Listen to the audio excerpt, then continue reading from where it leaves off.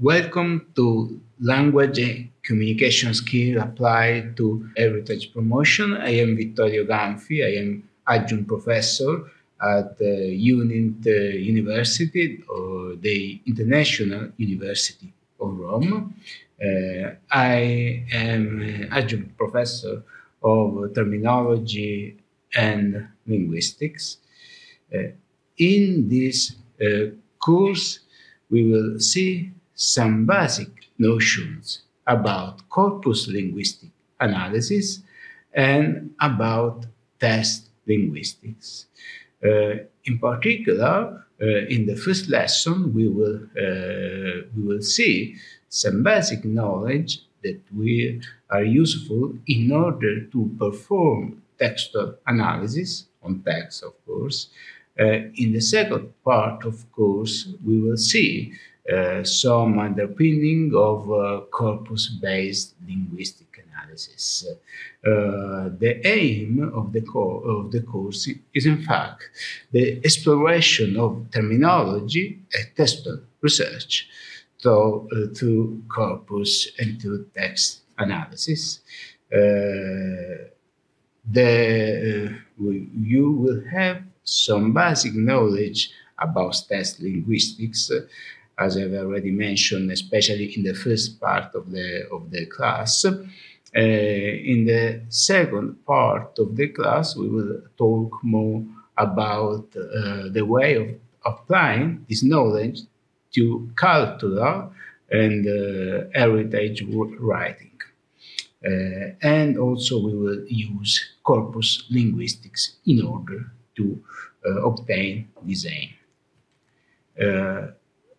These are the plan of the course. Uh, in the, this course is divided in several chapters, five chapters. The first one is devoted to textual units, in particular uh, to the notion, to the basic notion of cohesion and coherence as basic principle for text analysis. Section one is devoted to uh, basic principle, uh, very basic uh, basic principle of text linguistics. Section two is devoted to cohesion a cohesive mechanism.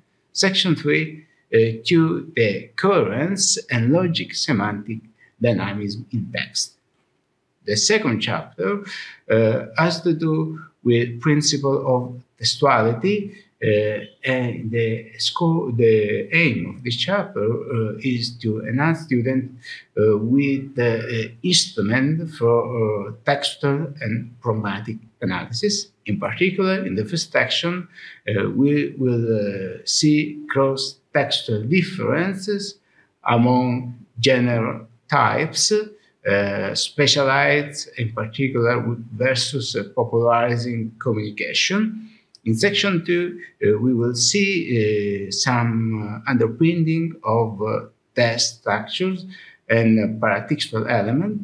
And in the last section, we will speak about cultural and heritage writing.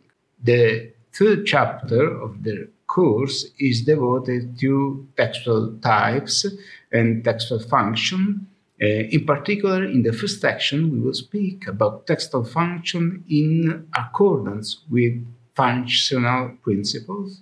In section two, we will speak about identification of linguistic features of text related to cultural tourism.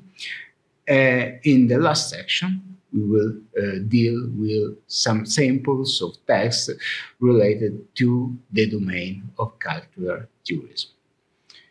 Chapter 4 uh, is devoted to textual feature for sector-specific communication and for popularization of cultural heritage.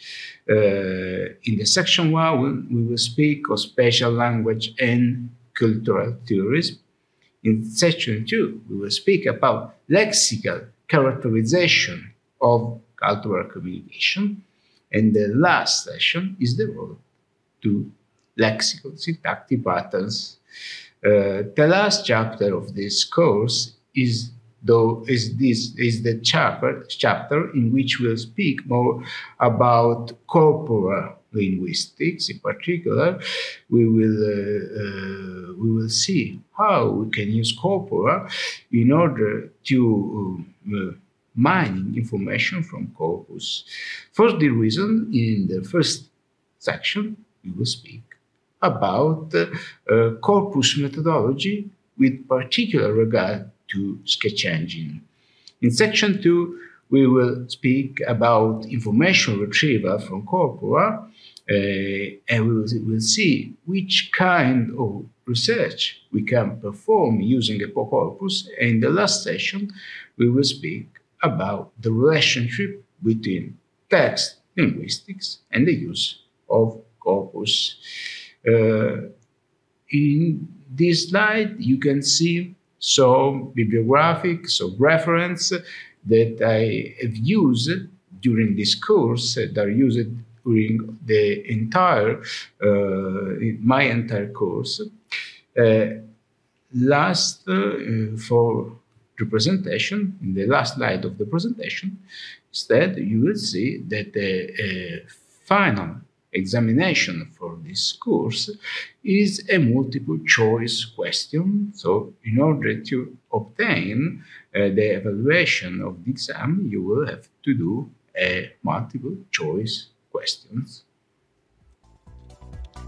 Thanks.